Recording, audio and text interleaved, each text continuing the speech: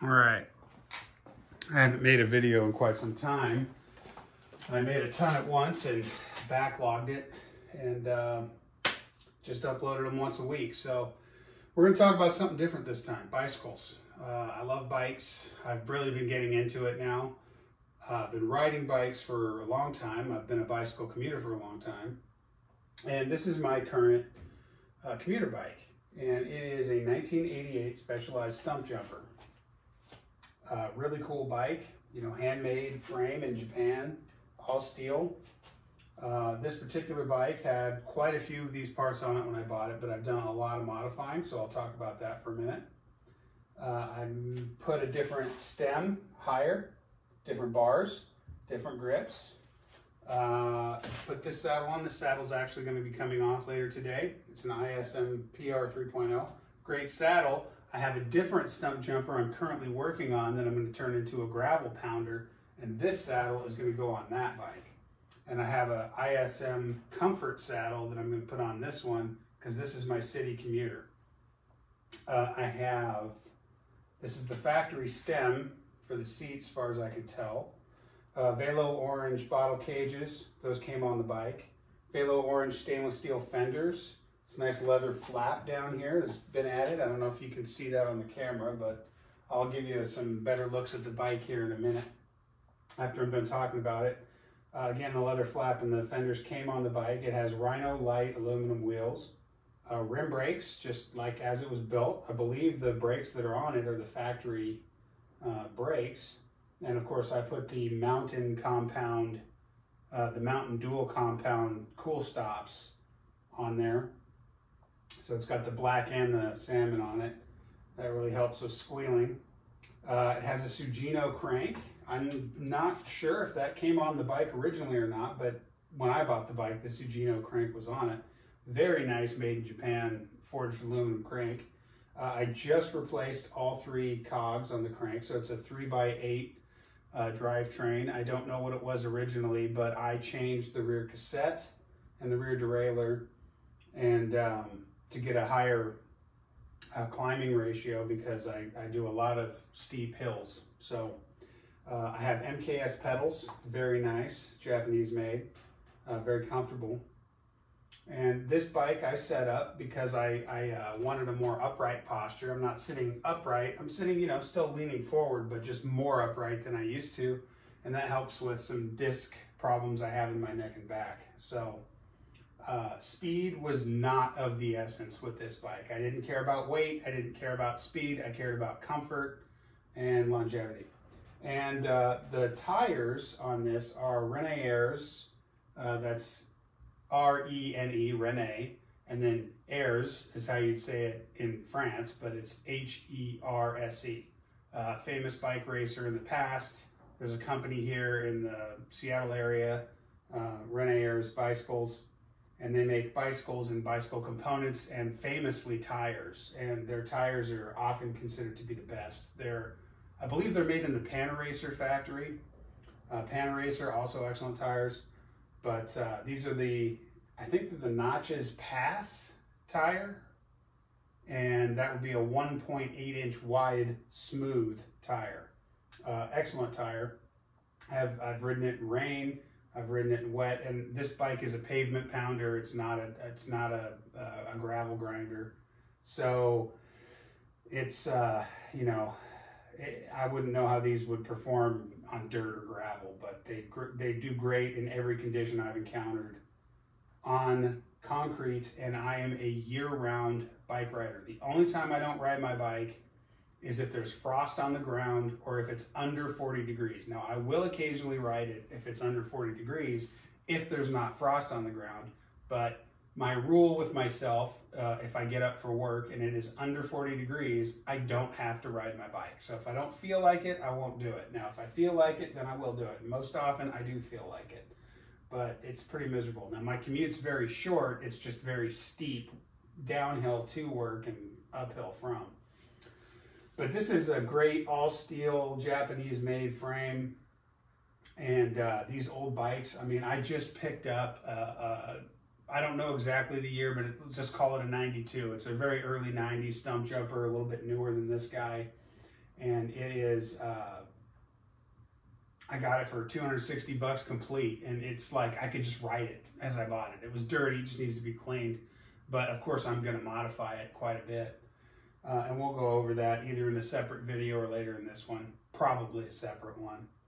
And um, I just bought that one, yeah, $260 used. And looking at the price of new bikes, you know, no thanks. Um, old school steel, I love steel frames, they're my favorite. And uh, the old ones from the 80s and early 90s were mostly made in Japan very well by hand. And, uh, you know, the, this one's not lugged. There's no lugs at the joints. And the same thing with the newer one. You know, those are those are cool, the lugged bikes. But, uh, you know, it's just tough to beat the quality for the price. And the components that were used on Stumpjumpers in, in that era were generally very high quality. So if you want to ride one out of the box with factory components, like you have a great bike as far as that's concerned. Uh, I also have Sunrace friction shifters on both sides that I flipped this way because that's how I like to use them. Anyway, let's take a look here. Uh, you know, maybe it's better. I'll turn it around so that you can see the drivetrain. And I'll grab the camera off the stand and kind of show you some parts of the bike here and we can talk about why or how or what I haven't done. So here's a good look at the back wheel. These fenders from Velo Orange are fantastic. They block water better than anything I've ever seen. When I bought the bike, it had 2.3 inch Rene Herse tires on it. And uh, they just didn't clear the fenders very well. And with these, the 1.8s, they uh, the fender comes out a little further than the, the tire. So it just blocks everything and it really does a great job. Uh, this cassette has a 40 tooth uh, low gear, which is pretty nice. It's an eight speed cassette and it's the Shimano HG. I got that from Rivendell Cycles. I also got this Shimano Acera derailleur from Rivendell. You know, did all the, the, um, cabling and all that myself with Jagwire. These are the Japanese made MKS pedals. I got these outer parts from Rivendell as well. And I rode it for the most part with without this outer part. And I just put this on about a week ago and God, it's so nice. It really spreads weight out. I don't like wearing clipless shoes. I've done it in the past and I just hated it. It's not for me and I'm not a racer, so I just don't care about going fast or spinning fast means nothing to me. So these are so comfortable. I can wear them in my flip flops. I can I can wear any shoes I want to, and they're super comfortable this way. Uh, you know, and since we were just on the topic of tires, I'm going to talk about tubes for a second. There's some pretty good tubes out there. If you go on Rene Herse, you can get the Schwalbe tubes. Uh, those are pretty good, but I like the slime tubes because they're cheap. They're on Amazon and they're really durable and they're coated with that slime crap inside of them. So if they get a puncture, supposedly they can seal if it's a small enough puncture. So I've been using those and having great luck with them. So that's what's in there, tubes and tires. And that's a 26 inch Rhyno Lite aluminum wheel. The wheel came with the bike. Uh, there's a good look at the Sugino logo on the crankset. That's an Origin 8 outer 42 tooth gear. I just put that on there. Uh, the, the second gear on, on the inside there is a 36 and then the smallest gear on the 74 millimeter section is a 30 and I have really good climbing ratios there. I can pretty much ride this bike on the 36 all the time and never mess with anything else. But, um, you know, I, I had a 48 outer gear on it before and it was, I just never used it. Like this bike, the way I've set it up ergonomically, it just doesn't go that fast. And so 48 tooth gear was so overkill. And with the 42, it's a lot more usable. And then you can see there, there's the factory Deore DX uh, front derailleur, just as it came from Specialized. And my new project bike has the exact same one, and it is a fantastic derailleur, and I will not be screwing with it at all, except for to remove it and clean it and put it back on. There's the two bottle cages, Velo Orange stainless steel, you know, came on the bike. They work just fine. Get your bottle cages from whoever you want. I'm just using what I had seat stem. There's the ISM PR 3.0 saddle. Great saddle. Uh, It's my favorite I've ever owned. Has Tektro brake levers. I'm about to replace these because these levers have no adjustment. And for the front brake, that's not a problem because if you look at the front brake cable here, I actually have adjustment, fine adjustment here uh, on the on the stem, on the steering stem, and that's fine. But uh, I have none on the brake, and if you'll notice, these 88s have this funky brake, and that's where the rear brake is, right there, down there by the by the crank. So there's no way for me to fine tune the adjustment, and when the wheels are almost never perfectly um, round, you know, like they're almost always a little crooked. Uh, I'm a big, heavy guy too, so that just makes it worse. And so the fine adjustment is really necessary for me to get those brakes dialed in perfect. And uh, so there's a good look at the leather flap behind that fender.